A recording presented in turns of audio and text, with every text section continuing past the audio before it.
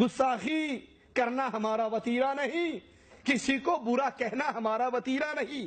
ہم تو آئیڈیل مانتے ہیں تو محمد اور اس کے صحابہ کی جماعت کو آئیڈیل مانتے ہیں، صلی اللہ علیہ وسلم۔ اور اسلام مانتے ہیں جو اپنے نبی پر پورا ہو چکا ہے۔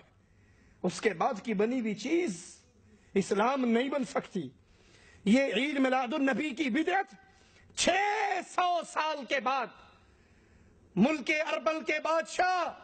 ملک مظفر نے منائی۔ ارے، اس بدعت کو منایا گیا چھ سو سال کے بعد۔ اور ہم دین کس کو مانتے ہیں؟ فجر کی نماز کا وقت ہے۔ صحابہ عبداللہ ابن مسعود رضی اللہ عنہ ورضا کے دروازے پر کھڑے ہیں۔ آپ کے نکلنے کا انتظار کر رہے ہیں۔ جب آپ باہر نکلے تو ایک صحابی کہتے ہیں عبدو عبد الرحمن میں نے کوفے کی مسجد میں ایک منظر دیکھا ہے۔ آؤ، آپ کو بھی دکھاؤں، آپ بھی دیکھ لو۔ یہ صحابہ کی جماعت مسجد میں پہنچتی ہے۔ کچھ لوگوں کو دیکھا ہوا، جن کے دائرے بنے ہوئے ہلکے بنے ہوئے، ان کے سامنے پتھر پڑے ہوئے۔ ایک بندہ ان میں بول کر کہتا ہے، سو مرتبہ کہو سبحان اللہ۔ سارے سو مرتبہ سبحان اللہ کہتے ہیں۔ دوسرے حلقے میں ایک کہتا ہے، کہو سو مرتبہ الحمدللہ۔ سارے الحمدللہ کہتے ہیں۔ تیسرے والا کہتا ہے، کہو اللہ اکبر۔ سو مرتبہ سارے اللہ اکبر کہتے ہیں۔ یہ عمل مسجد میں ہو رہا ہے۔ اللہ اکبر ہے۔ لا الہ الا اللہ ہے۔ سبحان اللہ، الحمدللہ کی صدائیں ہیں۔ یہاں میلاد النبی کے نام پہ لڑکی لڑکوں کا مخلوط رقص نہیں ہے، انڈین گانے نہیں ہے دھمالے نہیں ہے ڈانس نہیں ہے نقلی داڑیے نہیں ہے مسجد میں بیٹھ کر اور تابعین ہے صحابہ کے شاگرد ہیں، کلمہ کو ہے مسلمان ہے لا الہ الا اللہ، الحمدللہ استغفر اللہ کا ذکر کر رہے۔ ابن مسعود کہتے ہیں، افسوس ہے تم پر، افسوس ہے تم پر۔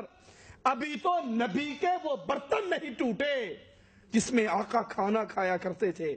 ابھی سے تم نے دین اسلام کے اندر نئی بدعتوں کو داخل، نئے کاموں کو داخل کر دیا۔ کہنے والوں نے کہا، ابو الرحمن اتنے ناراض ہونے کی کیا ضرورت ہے؟ ہم تو اللہ کا نام لے رہے ہیں۔ ہم تو تسبیح اور تحلیل کہہ رہے ہیں۔ ہم تو اللہ کا ذکر کر رہے ہیں۔ کہا، اس سے بہتر تھا کہ تم اپنے گناہوں کو گنتے۔ اس سے بہتر تھا۔ تم اپنے گناہوں کو گنتے اور میں ضمانت دیتا تمہاری نیکی برباد نہ ہوتی۔ اور ایک روایت میں ہے کہ ابن مسعود نے پاؤں کی ٹھوکر سے ان کنکریوں کو بکھیر دیا۔ کہا بھی نبی کے برتن نہیں ٹوٹے۔ تم نے اسلام میں نیا کام شروع کر دیا۔ ابن مسعود کے ساتھی رضی اللہ عنہ وردہ فرماتے ہیں کہ پھر ہم نے ان لوگوں کو دیکھا۔ یہ مسلمہ کذاب کی فوج میں مل کر ہم سے لڑ رہے تھے۔ یہ خوارج کے اندر داخل ہو کے ہم سے لڑ رہے تھے۔ ہمارے اوپر نہیں سے چلا رہے تھے۔ اگر یہ خوشی منانا، یہ جلسے جلوس، یہ بھنگڑے، یہ مس، یہ مسجدوں کو سجانا، یہ بازاروں کو سجانا، یہ سبز جھنڈے، اگر اس کا نام خوشی ہے، جس کو نہ منانے والا ابلیس ہے تو اللہ کے لیے سوال کروں گا، کیا اس طرح کی خوشی ابو بکر نے منائی؟ اللہ کے لیے۔ اس عقل کو استعمال کرو، بہت بڑی نعمت ہے۔ کیا ابو بکر، عمر، عثمان و علی، طلحہ، زبیر، بدر احد والے مدینے کے پاساروں میں جلوس نکالتے تھے؟ کیا جھنڈے لہراتے تھے؟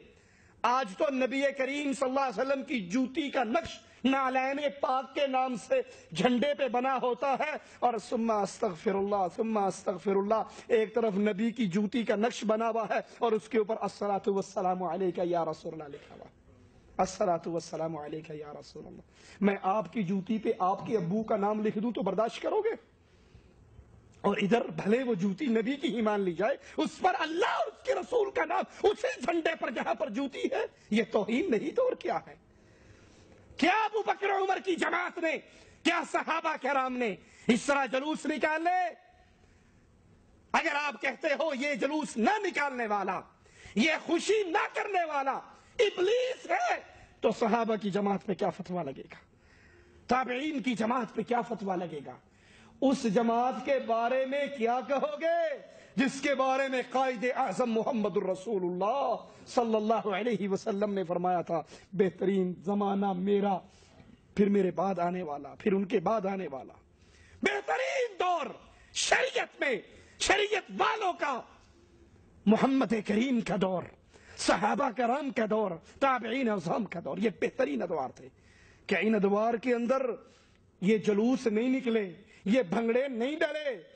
یہ مکہ مدینہ کے ماڈل بیت اللہ اور مسجد نبوی کے ماڈل نہیں بنے۔ چار پتھر رکھ کر مصنوعی پہاڑی بنا کر گھر میں سے پائپ لا کر اس میں لگا کر زمزم کا نام نہیں دیا گیا۔ نکلی داڑیاں نہیں لگی، چمٹے نہیں بجے، گانوں کے رقص نہیں ہوئے۔ ڈھول، گانے، دھمال، یہ نہیں ڈلی۔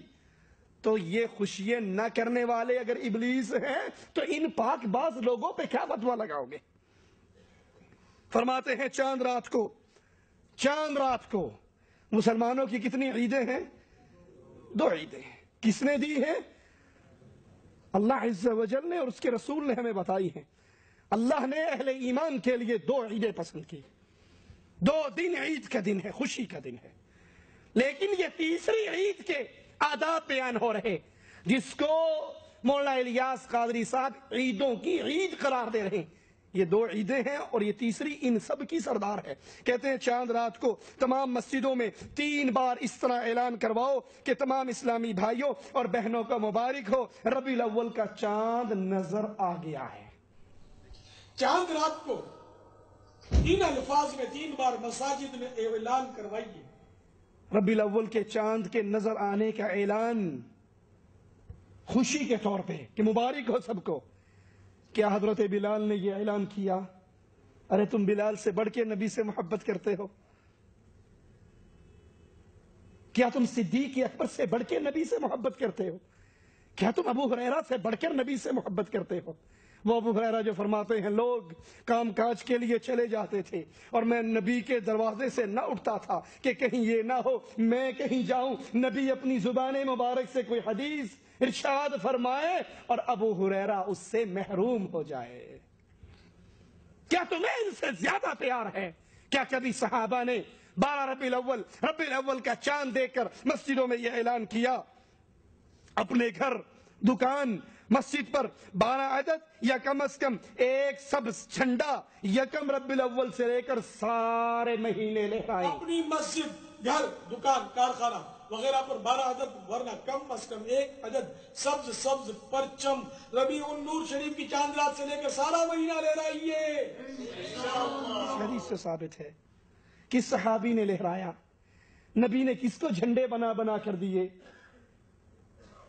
اگر یہ جھنڈا لہرانا ثواب کا کام ہے، اگر جشن عید میلاد النبی ثواب کا کام ہے، اجر کا کام ہے، تو بتائیے اجر و ثواب کی باتیں تو محمد بتا کر چلے گئے۔ صلی اللہ علیہ وسلم۔ اليوم اکملت لکم دینکم۔ میرے رب نے اعلان فرما دیا، دین پورا ہو گیا، شریعت بیان ہو گئی۔ اگر یہ اجر و ثواب کی باتیں ہیں تو یہ آپ کو آج کیسے پتا لگی؟ نبی کے دور میں یہ لوگوں کو کیوں نہ پتا تھی؟ بس ٹرک کار رکشا سائیکل پر بھی اپنے پلے سے ایک جھنڈا خرید کر ضرور لگائیے۔ بسوں ویگنوں ٹرکوں ٹرالوں ٹیکسیوں رکشوں ریڑیوں گھوڑا گاڑیوں وغیرہ پر ضرورتاً اپنے پلے سے پرچم خرید کر باندھ دیجیے۔ اپنی سائیکل اسکوٹر اور کار پر بھی سگے مدینہ سگے مدینہ الیاس قادری اتار اپنے گھر پر بھی سبز جھنڈا لگاتے ہیں۔ الحمدللہ سگے مدینہ و فی عنہ بھی حتی الامکان اپنے مکانے بے نشان پر سادہ جھنڈے لگاتا ہے۔ مولانا صاحب ہم آپ سے ایک ہی سوال کرتے ہیں۔ آپ اپنے گھر پہ ایک جھنڈا نہیں ہزار جھنڈے لگا لیں لیکن ہمیں نبی کی کوئی ایک حدیث بتا دیں جس میں نبی نے اپنے گھر پہ جھنڈا لگایا ہو۔ نبی نے اپنی بیویوں کے گھروں پہ جھنڈا لگایا ہو۔ میرے نبی کے صحابہ نے یہ عمل کیا ہو۔ ایک حدیث۔ آپ کو اجازت ہے جو چاہے کرے لیکن ہم پابند ہیں محمد الرسول اللہ صلی اللہ علیہ وسلم۔ اپنے گھروں پر بارہ جھالریں یا کم از کم بارہ بلب لگائیں اور اپنے محلوں میں بھی خوب چراغاں کریں۔ یہ چراغاں نبی کے کس صحابہ اپنے گھر پر بارہ جھالروں یعنی لڑیوں یا کم از کم بارہ بلبوں سے نیز اپنی مسجد اور محلے میں بھی بارہ دن تک خوب چراغا کی۔ اگر یہ چراغاں کرنا باعث اجر و ثواب ہے۔ اگر یہ چراغاں کرنا، اگر یہ خوشی کا یہ طریقہ اللہ کے نبی کی شریعت میں ہے۔ تو اللہ کا واسطہ ہے، دلیل ہمیں بھی دے دو۔ سارے علاقے کو سبز سبز جھنڈوں، ننے ننے بلبوں سے سجا کر دلہن بنا دیجیے۔ فضا میں بارہ میٹر یا حسب استطاعت پرچم لہرائیے۔ بارہ دن تک مساجد میں اجتماعات مقرر کیجیے۔ سارے علاقے کو سبز سبز پرچموں اور رنگ برنگے بلبوں سے سجا کر دلہن بنا دیجیے۔ بڑے شہر میں ہر علاقائی مشاورت کا نگران قصبے والے، قصبے میں بارہ دن تک روزانہ مختلف مساجد میں عظیم الشان، سنتوں پر اجتماعات منعقد کیا۔ نبی کے صحابہ نے کیے ایک ہی سوال۔ نبی کے صحابہ وہ عظیم جماعت جو میرے نبی کے حکموں کو قبول کرتے ہوئے، پھیلاتے ہوئے مر جانا سعادت سمجھتے تھے۔ میرے نبی نے ایک صحابی کو بھیجا تھا مشرقین کی بستی میں جاؤ، ان کو پیغام توحید دے کر آؤ۔ وہ بستی کے چوک میں پہنچے تھے۔ چوراہے میں کھڑے ہو کے آواز لگائی تھی۔ نبی کا پیغام دیا تھا، قولوا لا الہ الا اللہ۔ یہ نغمہ ان کو سنایا تھا۔ ایک مشرق نے پیچھے سے آ کر نیزے کا وار کیا تھا۔ اس صحابی کی چھاتی سے وہ نیزہ باہر نکل آیا۔ اور صحابی کی زبان سے جملہ نکلا فزتو برب الکعبہ۔ کعبے کے رب کی قسم میں کامیاب ہو گیا۔ ارے جو مر جانا، اطاعت رسول میں کامیابی جانتے تھے۔ کبھی انہوں نے بھی بارہ بارہ میٹر کے جھنڈے لگائے، بلب لگائے، اجتماعات مقرر کیے۔ مسجد رسول میں صلی اللہ علیہ وسلم ربی الاول کے چاند نظر آنے سے لے کر بارہ ربی الاول تک یہ بارہ دن اجتماعات نبی کے صحابہ نے کیے۔ اس میں محفل میلاد، قیام ہوا۔ گیارہ ربی الاول کی شام کو یا بارہویں کی شب کو استقبال عید میلاد کی نیت سے غسل کیجیے۔ ربیع النور شریف کی شام کو ورنہ بارہویں شب کو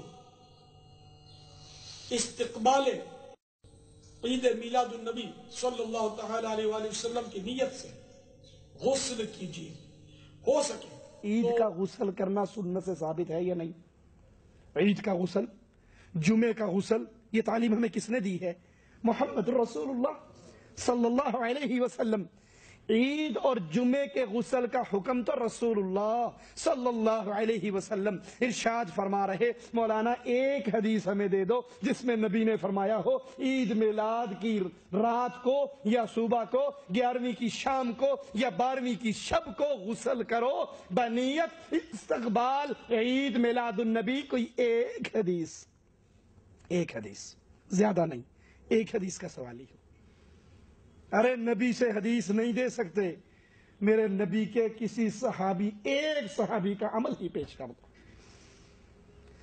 ہو سکے تو ان، اس عیدوں کی عید کی تعظیم کی نیت سے سفید لباس، امامہ، سبز ٹوپی کتھئی رنگ کی چادر، جیب کا رومال، ہاتھ کی گھڑی، قلم، چپل عطر کی عطر کی شیشی یہ ساری چیزیں اپنے استعمال کی نئی خریدیے اور اسلامی بہنیں بھی اپنی استعمال کی چیزوں کو نیا خریدیں۔ لباس سربند ٹوپی کچھئی چادر مسواک جیب کا رومال چپل تسبیح عطر کی شیشی ہاتھ کی گھڑی قلم قافلہ پیڈ۔ وغیرہ وغیرہ اپنے استعمال کی ہر چیز ممکنہ صورت میں نہیں لیجیے۔ اسلام بہنیں بھی اپنی ضرورت کی جو جو اشیاء ممکن ہو وہ نئی لیں عید پہ حدیث میں حکم ہے نا، نیا لباس پہنو۔ کسی کے پاس نیا نہ ہو تو وہ کم از کم صاف ستھرا دھلا ہوا لباس پہنے۔ عیدوں پہ عیدوں پہ لباس نیا پہننا۔ دو عیدوں کے لیے اللہ کے نبی کی حدیث سے ثابت ہے۔ سر آنکھوں پہ ہے، مانتے ہیں۔ لیکن یہ عید میلاد کے لیے نیا لباس اور سارے استعمال کی چیزیں نئی خریدنے کی کوئی ایک حدیث تو مولانا سنا دے ہمیں۔ بارہویں شب، اجتماع میں گزار کر بوقت صبح صادق اپنے ہاتھ میں سبز سبز پرچم اٹھائیں، درود و سلام کے ہار لیے اشکبار آنکھوں سے صبح بہارا کا استقبال کریں۔ بعد نماز فجر، سلام و عید مبارک کہہ کر ایک دوسرے سے گرم جوشی کے ساتھ ملاقات کریں۔ اور سارا دن عید کی مبارکباد پیش کرتے رہیں اور عید ملتے رہیں بارہویں شب اجتماع میلاد میں گزار کر بوقت صبح صادق اپنے ہاتھوں میں سبز سبز پرچم اٹھائے، درود و سلام کے ہار لیے اشکبار آنکھوں سے صبح بہارا کا استقبال کیجیے، بعد نماز فجر، سلام و عید مبارک کہہ کر ایک دوسرے سے گرم جوشی کے ساتھ ملاقات فرمائیے اور سارا دن عید کی مبارکباد پیش کرتے اور عید ملتے رہیے۔ عید ملنے کا طریقہ ہمیں رسول اللہ نے سکھایا یا نہیں سکھایا؟ عید پر دعائیں بھی اللہ کے نبی نے ہمیں سکھائی۔ تقبل اللہ منا و منک، یہ عید ملنے کی دعا ہے یا نہیں؟ عید پہ ایک دوسرے کو دعا دینے کی۔ اب سوچئے جو نبی ان دو مسلمانوں کی دو عیدوں پر ہمیں تعلیم دے رہے، یہ تعلیم یہ تعلیم اللہ کے نبی کی کس حدیث میں ہے؟ یہ تعلیم رسول اللہ صلی اللہ علیہ وسلم کی کس حدیث میں ہے؟ عید میلاد النبی تو عیدوں کی عید ہے۔ آج تو ہے عید عیدہ عید میلاد النبی مرحبا بولو مرحبا بولو جھوم کر بولو مرحبا بولو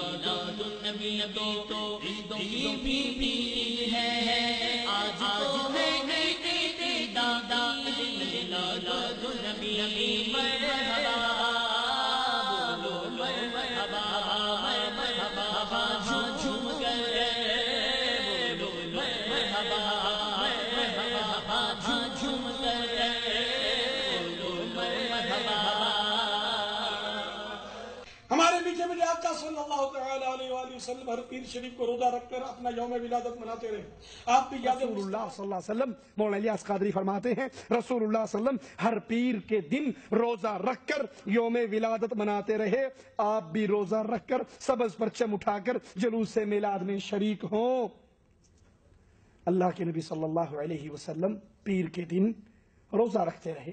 آپ نے فرمایا، اس دن مجھے نبوت ملی، اس دن میں پیدا ہوا۔ اور ایک روایت میں یہ ہے کہ اس دن اعمال اللہ کے دربار میں جمعرات اور پیر کے دن اللہ کے دربار میں پیش ہوتے ہیں۔ تو میرا جی چاہتا ہے، جب میرے عمل اللہ کے دربار میں ہوں تو میں روزے سے ہوں۔